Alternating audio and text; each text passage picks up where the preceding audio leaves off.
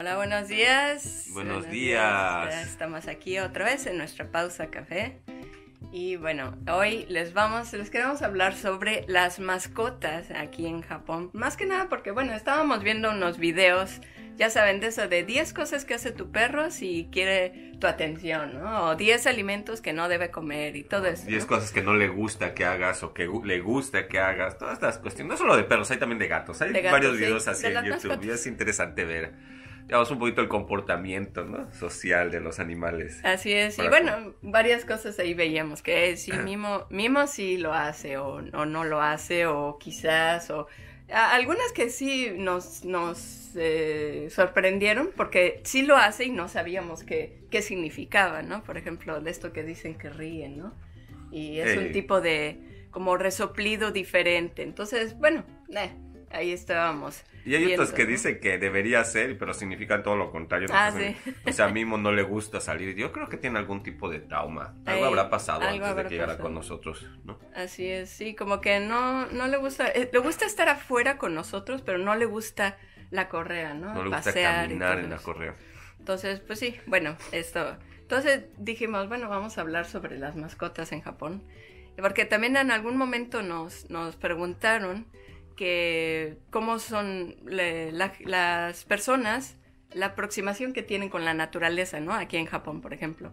Que decían que los niños en verano atrapan insectos o, y que los llevan a sus casas y los tratan como mascotas, ¿no? Entonces, bueno, eso sí se da, de hecho, este, más en verano, pues porque hay más, más, este... Sí, son, son mascotas de estación, porque Así es. finalmente, además de todo, para bien o para mal, las- los insectos, no viven tanto tiempo, ¿no? Obviamente. Exacto, también tienen peces, estos que los atrapan en el matsuri, ¿no? Y, y este, y los, los cuidan por el tiempo. Bueno, estos suelen durar un poquito más, ¿no? Porque son... Sí, viven mucho más si los cuidas bien. Depende de qué tanto se involucran Bueno, los papás, ¿no?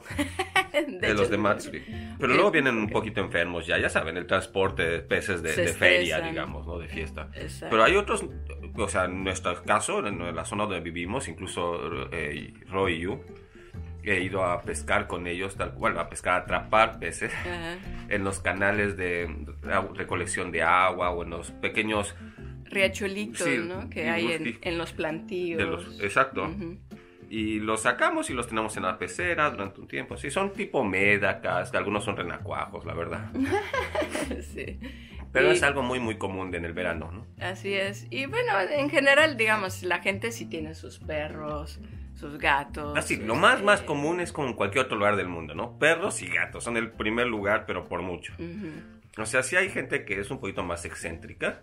Sí hay animales muy, muy populares, digamos, entre la gente, entre la cultura pop japonesa.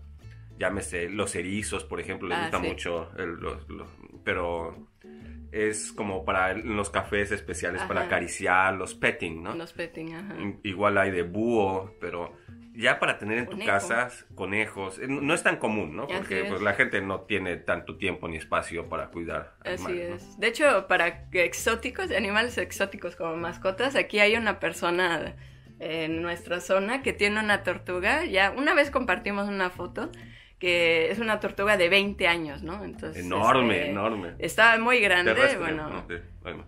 Ajá. Y pues bueno, la persona la vemos, la hemos visto varias veces, ¿verdad? Que sale a caminar así con su tortuga y la tortuga ahí va lento, pero pues también y todo el mundo a sacarle foto, ¿no? A él encantado, o sea, le, Sí, le gusta mostrarla. sí, sí. Obviamente hay de todo, hay la gente, a los niños especialmente les gusta, o sea, de las cosas, de los animales que ves en las tiendas de mascotas y criaderos son, va desde todo tipo de peces, De peces, eh, chinchillas, todo tipo de roedores, chinchillas, conejos, ratones, hámster, Ranas y cangrejos. ranas, lagartijas, les encanta Mm. también tener. Algunas culebritas, ¿no? Pequeñas culebras. Así es. Pero, vamos, eso como...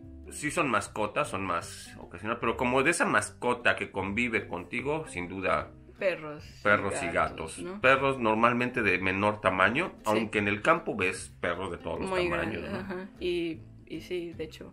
En, en ciudades grandes, pues obviamente por el espacio y también por, digamos, el tamaño en la calle, pues son tienden a ser animales pequeños, razas pequeñas, ¿no? Aunque si ves los estos Shiba Inu o Akita, quizás más por el, digamos, el amor al, al perro A la raza, ¿no? Sí. autóctona, ¿no?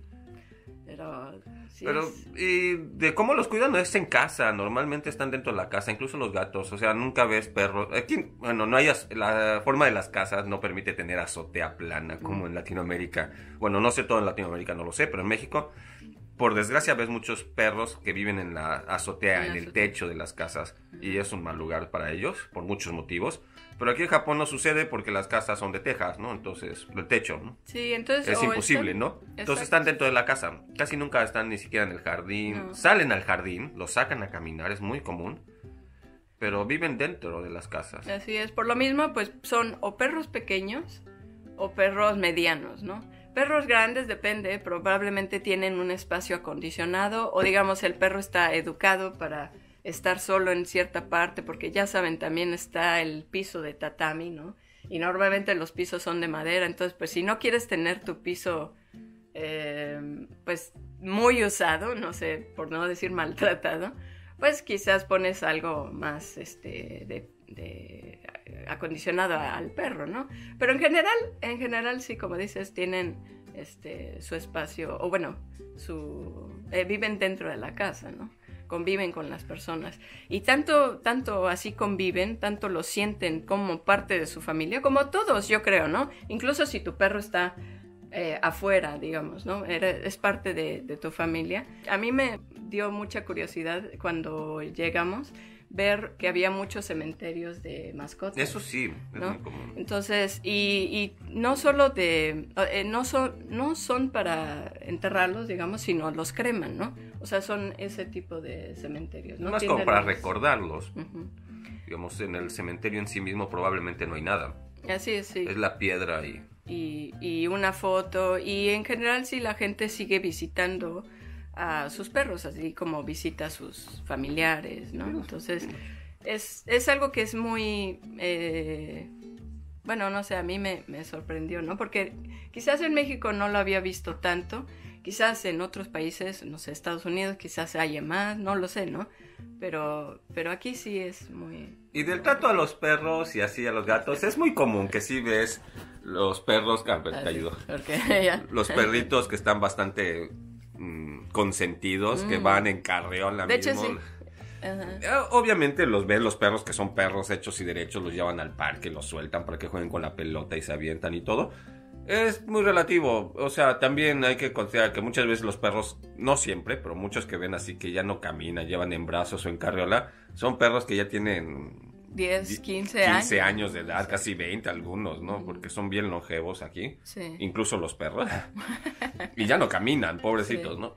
Pero sí también los hay quien exagera, que no sabe tratar a los perros como perros y los trata como niños, como en cualquier Ah, sociedad, ¿no? sí. Hay de todo. Sí, de hecho, y también hay en zonas, ¿no? Eh, por ejemplo, obviamente ciudades grandes más, quizás, por, y zonas muy, mm, no sé, muy... Sí, y tiende a ser entre de- más urbano, más, más los tratan como bebés, ¿no? Así es. Y entre más rural somos más libres. Así es. De hay más espacio quizás y más... Y menos gente. Sí. Entonces los puedes dejar un poco más libres. Eso, Ve a buscar tus pulgas. ah. Corre por allá, aquí no. Y este. Animales exóticos, eh, bueno, la- el japonés en general, como cultura, creo que sí tiene interés en los animales exóticos. Voy bien, voy bien. Aunque no, mm, obviamente no para traficarlos. O sea, no existe esa, esa, neces- esa maldad que por desgracia muchas veces sucede. O sea, no, no están buscando atrapar orangutanes en Indonesia y traerlos a Mm. Japón o algo por el estilo. No, para nada. O sea, no hay ese tráfico de animales exóticos en ese sentido. Aunque hay mucha ignorancia en cuanto a las limitaciones de la ley. Sí, porque justamente, ¿no? El caso de la persona. Había un chico, fue noticia, imagínense, hace años, que estaba haciendo un, ¿cómo se dice? Un un intercambio en Nueva Zelanda, ¿no? Y en Nueva Zelanda vio pingüinos y le encantaron, le fascinaron, estaba enamorado y dijo, bueno, pues me voy a llevar uno de, de mascota, recuerdo, y lo echó a su mochila. Y así llegó hasta el aeropuerto. Los oficiales en el aeropuerto se quedaron en shock cuando abrieron la mochila y vieron al pingüinito ahí. Imagínate. Y él no veía nada malo. Y fue tanto el shock y tan la sorpresa y todo que no pudieron ni siquiera ver nada. No, no vieron maldad en el chico. No, no sabía ni siquiera qué estaba haciendo mal, ¿no? Así es. Este, pues digamos, ignorante en este sentido, ¿no? Exacto. No le levantaron ni siquiera cargos, Cargo. hablaron a la, a la embajada y todo, y ya regresaron al pingüinito a su hábitat y todo el relajo. Y él se fue nada más con una llamada de atención y un, y un manotazo en las manos, ¿no? Así es. Y, y no lo vuelvas a hacer. Porque es que era tan obvio que no era tráfico, Sí. porque ni siquiera iba escondido. Es Es- así de como hecho, que. iba así hasta arriba, ¿no? Y probablemente en el avión que, oye, iba haciendo ruido, o iba bien dormidito, Fue, fue un relajo. bien ¿no? mareado, ¿no?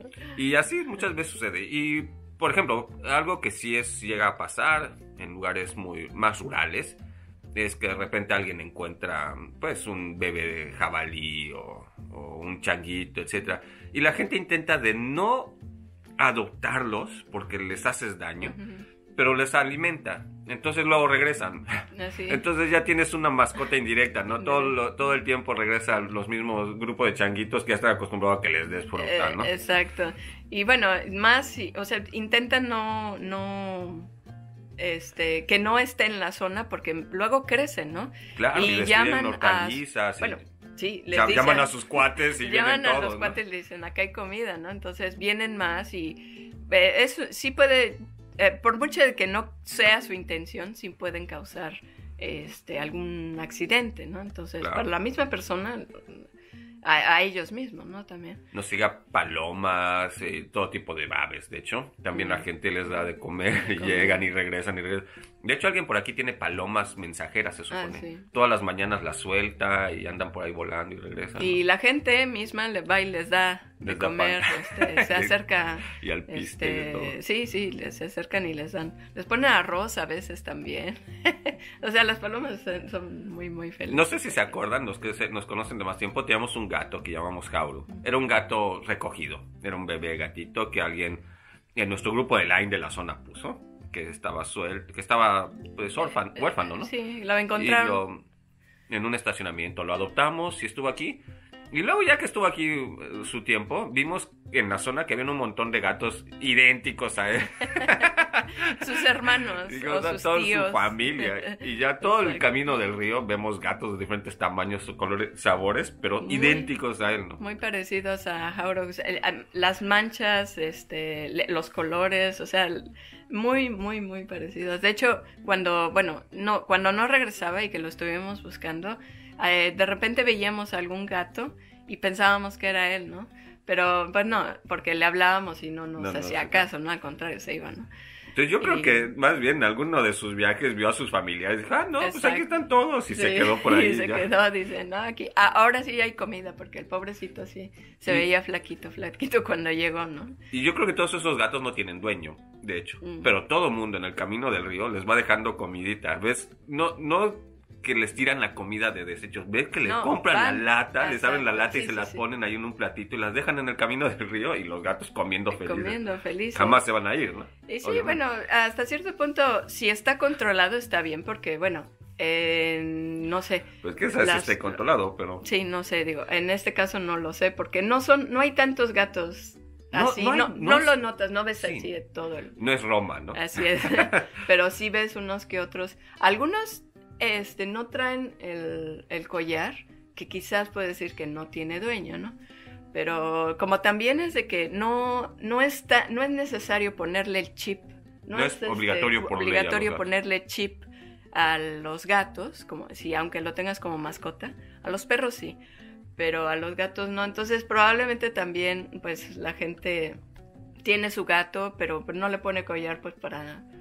Mm, Bueno, los gatos no sé. incluso se los quitan muchas veces. o hecho, sea, sí. es que nunca, nunca tienes un gato. Hecho. El gato te tiene a ti. Él te elige y dice, ah, ya, ya me cansé de ti, me voy con otra persona, ¿no? sí, sí, sí, sí. Y, y bueno, eh, también es eso, ¿no? Que eh, parece que los gatos son. que no te tienen afecto, ¿no? Pero bueno, una vez leíamos. No, que son sí, más ¿no? independientes. Que son. De hecho, el gato cuando maulla lo hace solo o con los bebés, o sea, la mamá con los bebés, Ajá, los o los gatos adultos hacia el ser humano. Porque lo ve como. como su protección. o Pues quién sabe si nos ven como, como sus mascotas, porque nos hablan como cariño, ¿no? Como la Ah. mamá gato habla a sus gatitos. Ay, qué bonito le, te dicen, ¿no? Sí. Lo que sí sabías de que los elefantes, por ejemplo, saben que cuando ven a los seres humanos con aprecio, las reacciones químicas que suelta su cerebro es como cuando nosotros vemos un gatito bebé. Mm, nos ven con O cariño. sea, los elefantes nos ven como si fuéramos gatitos, Gatitos, bebés. Cachorritos, Sí. ¿no? Ay, qué curioso. Bueno, Sí, pero eso ya no tiene nada que ver con mascotas, pero... Bueno, no, aquí no. No, Ah, nunca he sabido de gente que tenga mascotas así mega ex- exóticas. Nosotros, nosotros tuvimos, cuando llegamos aquí eh, a esta zona, Ah, bueno, tuvimos este, un momonga. tuvimos un momonga, ¿no? Que son estos, Mm, como como, ardilla voladora, sí. pero es un marsupial. es no un es una ardilla. marsupial. Y este, estuvo con nosotros como un par de años, me parece. ¿no? Pero, pues, Fa- bueno, falleció, eventualmente. sí. Entonces, Sí, como buen mamífero pequeño, no, no viven tanto viven tiempo. tanto Son muy tiempo, frágiles, es la exacto. realidad, ¿no? Pero- Pero sí, este, era curioso, ¿no? Por este, sentir cómo te, te subía por la... sí. Pero, por ejemplo, de eso, yo he escuchado en otros lugares, ahí siempre dices, ah, esa persona rica es bien este, este, excéntrica y tiene Sí. casi su zoológico en su patio, en su rancho y todo, y tiene tigres y no sé, ¿no? Aquí no escuchas para nada de eso. Yo no- O sea, sí sabes que hay gente, por ejemplo, que... O sea, hay refugios de animales ya de entrada, ¿no? Y sí llega a haber tráfico de animales o animales que fueron para algún show, por ejemplo, por desgracia o esto, o los encuentran en el camino, en embarcaciones, y pues los ponen en refugio, ¿no? Entonces sí hay gente que está cuidando que si monos capuchino o chimpancé incluso, animales que diría uno exóticos totalmente, que ya no les es posible regresar Al hábitat. hábi- al hábitat, sea porque geográficamente está en otro lado del mundo, También. o porque ya no pueden sobrevivir solos tan fácilmente, no sería ponerlos en riesgo innecesario. Pero de fauna local es más, más común que llegas a encontrar, o sea, tortugas, como decíamos. eh, Hay algunos que la gente obviamente no quiere tener porque puede ser este, incluso peligroso, como el jabalí, el caso del jabalí. Porque aunque parece que el jabalí es muy tranquilo y bonito, es de los animales más agresivos Eh. que tiene Japón. Exacto, sí.